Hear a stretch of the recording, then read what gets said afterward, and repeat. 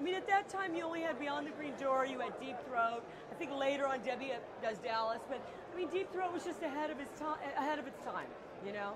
Awesome. And I think also because Linda Lovelace came across as such a normal human being.